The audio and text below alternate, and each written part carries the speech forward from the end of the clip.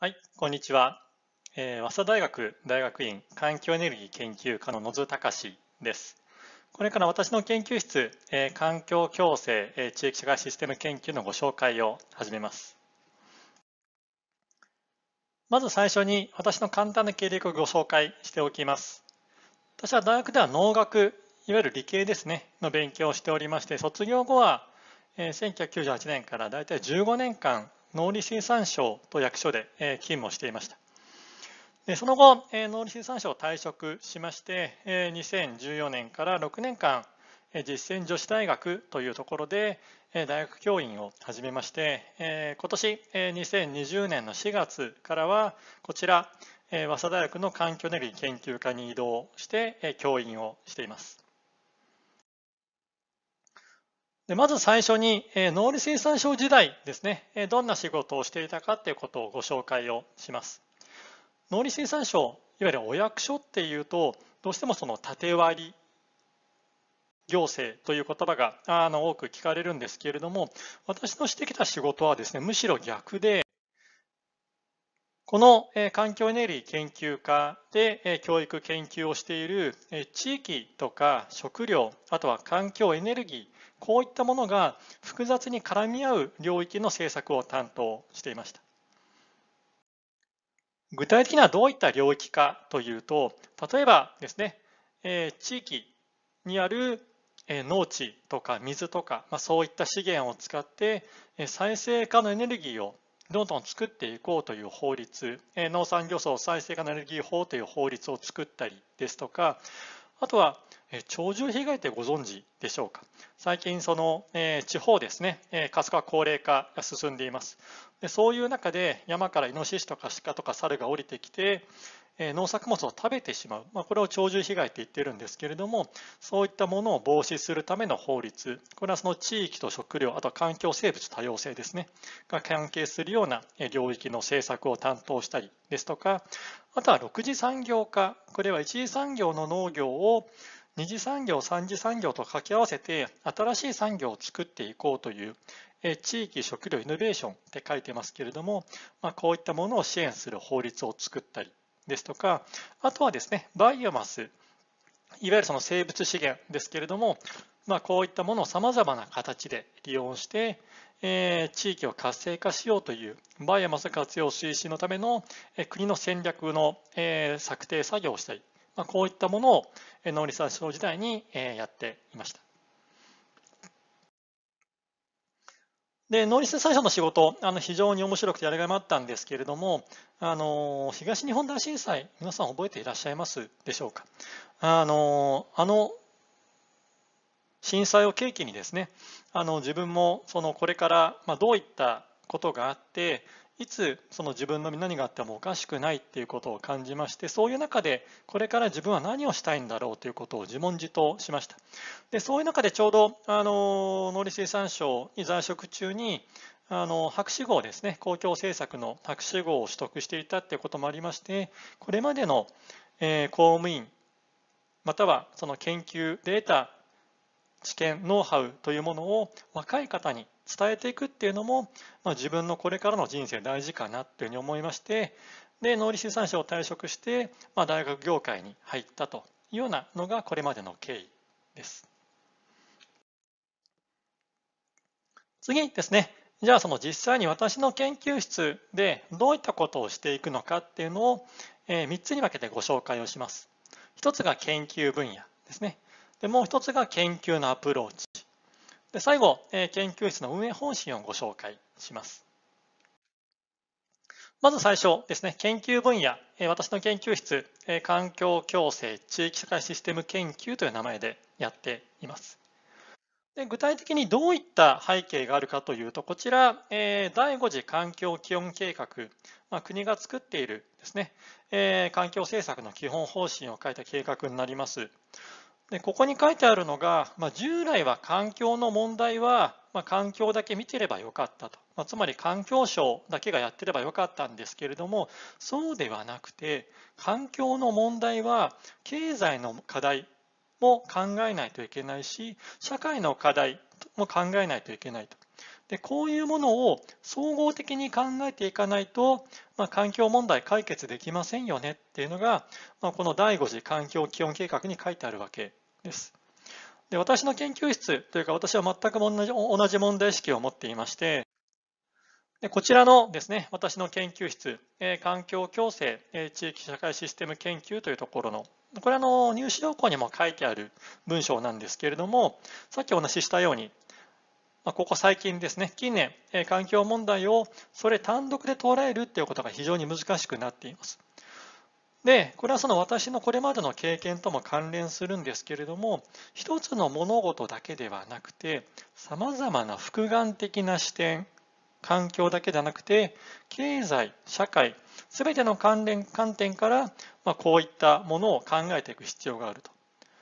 でそれを考えていく際にですね漠然と考えていてはなかなかその解決策は見えてこなくてもう少しミクロに落とし込んで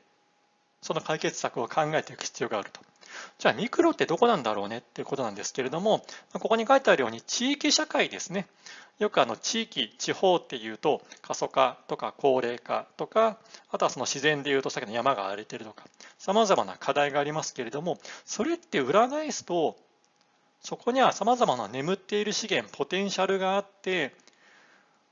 ある意味ですね、これからの社会の課題を先取りしていて、それを新しい環境共生社会を実現するための実践の場として注目されているっていうのが、今のその地域社会の姿になっています。でそういったことを踏まえてこちらの研究室ではじゃあということで、その地域資源を活用して、環境と調和した持続可能な社会システムを考えていきましょうというのが、この研究室の目的になっています。で領域としては、私のこれまでのですね、経験、またはその研究分野を踏まえて、特に環境、エネルギー、あとは地域、食料、農業、まあ、そういった多面的な分野に着目して、まあ、いわゆる文系ですね、まあ、社会科学政策的な観点から研究を行っていくというのが、まあ、こちらの研究室の内容になっています。でじゃあ具体的にどういった領域またはですねどういった課題について考えていくかというのを簡単に図で示しました。こちらに環境エネルギー、地域食料、イノベーションって書いてます。あのこれ私がこれまでしてきたですね、えー、政策に関するテーマ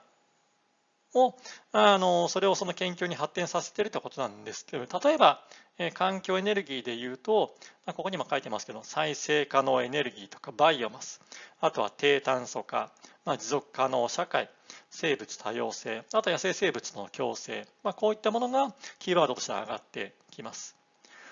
じゃあ地域食料は何かっていうと、まあ、未利用の地域資源ですとか、あとは食料生産、あとは地域活性化ですね。あとはそのさっきお話しした6次産業化、あとは自立分散型社会、あと都市農村交流、まあ、こういったものをキーワードにしています。でイノベーション、これはその馴染みのない方もいらっしゃるかもしれませんけれども、こういった社会課題を解決しようとする場合ですね、やはりイノベーションが非常に重要になってきます。でそういった中で、例えばオープンイノベーションですとか、あとは産学官連携、食料産業、あとそのイノベーションをどうやって社会実装を普及していくかと。でそのためのその知的財産、遺伝資源、まあ、こういったものを私の研究のテーマにしています。で実際の研究ですね、どういったアプローチでしていくかということなんですけれども、私自身が、えこれまで実務家、つまり、え国で政策を作ってきたっていう立場と、それを退職した後に、まあ、研究者として今仕事をしています。で、その両方の視点ですね。まあ、ここにも書いていますけど、学術研究と政策両方をうまくミックスさせて研究していくっていうのが、あのこちらの研究室の方針になっています。具体的にどういうことかっていうと、ここにそのエピソードベースとエビデンスベースっていうふうに書いています。あのこれまでの政策っていうのは、どちらかというと、研究者はなんか勝手にというかですね、研究してるんだけれども、それはそれとして政策を立てる側が、まあ、ここにも書いてますけど、たまたま見た事例とか、まあ、限られた経験に基づいて、まあ、政策を作ってきたっていうのが、まあ、残念ながら正直なところです。でもそれですとま、ここにも書いていますけど、政策とその効果の分析、どうしても不十分になります。でそうではなくて、エビデンスベースですね。研究は研究、政策は政策ではなくて、ちゃんと政策に活かせるような研究をする。または政策の方でもちゃんと学術研究、エビデンスに基づく政策を作っていくってことがとても大事になってきます。したがってこの研究室では単にですね、研究のための研究ではなくて、社会のため、政策のためにどういった研究が大事なのかなっていうことを中心に研究を行っています。あとこれはあのさっきもお話ししましたが、こちらの研究室ですね、というか、この早稲田大学の環境エネルギー研究科、いわゆる分離融合の研究科になります。でその中で私の研究室に関しては、私自身が公共政策を専門としているということで、まあ、いわば文系ですね。まあここにも書いてますけれども、社会科学とかまあ政策研究というのを中心にやっていく研究室になります。で最後ですね、えこれはじゃあその具体的に研究室をどうやって運営していくかっていうところ、おそらくご関心があると思いますので、これは最後にお話をしておきます。私の研究室の運営方針は、学生主体の研究活動というのを中心にしています。あくまで陰性の皆さん、陰性の方がですね、自分がどういった研究をしたいのかっていう思いを大事にしたいと思っています。あの中にはひょっとしたらその先生がですね何か自分の研究テーマを与えてくれませんかとかまたは先生が私の研究方法を決めてくれませんかっていう方も中にはいらっしゃるかもしれません。でもちろんあのそういった運営の仕方がいい学問領域ですとか研究室もあるんですけれども私としてはせっかく2年間この研究室で研究をしていただくとすれば、やはり自分がしたい研究、または皆さんですね、陰性の方の将来に役に立つような研究をしてほしいっていう思いが強くあります。したがって、あくまで学生主体、学生の皆さんが自分で考えて自分で取り組むっていうことを中心に研究室運営をしています。ただもちろんそれはほったらかしということを意味するわけではなくて折に触れてですね例えば個別面談だったりとか、まあ、研究室全体の話し合いなどを通じて十分に学生の方がする研究活動または教育についてサポートしていくことにしています。あとはその下に書いてますけれども、多くのディスカッション、あのまあ、それとも関連するんですが、この研究室では数多くですね、私と学生の皆さん、あとは学生の皆さん同士でディスカッションしたりとか、プレゼンテーションしたりっていう機会を多く取ることにしています。研究、もちろんその一人だけでやるっていうのも大事なんですけれども、やはりそれだけでは視点がどうしても狭くなりがちです。そうではなくて、私、教員、または学生同士ですね、様々な視点で見ることによって研究をブラッシュアップしていく。でそれはもちろん研究能力の向上にも役立つんですけれども、この2年間終わった後ですね、大学院を修了した後、まあ、一般企業に就職するにしても、研究者になるにしても、そういったスキルってとても大事になってきますので、まあ、ここに社会人力って書いてますけれども、まあ、そういった力もぜひこの2年間で伸ばしてほしいと思っています。以上、えー、私の方からですね、私の研究室の、えー、研究分野、研究のアプローチ、あとはその研究室の運営方針、お話をさせていただきました。で時間の関係で、えー、今日は要点しかお話をしていませんので、もしですね、私の研究室に興味を持ったらお気軽に、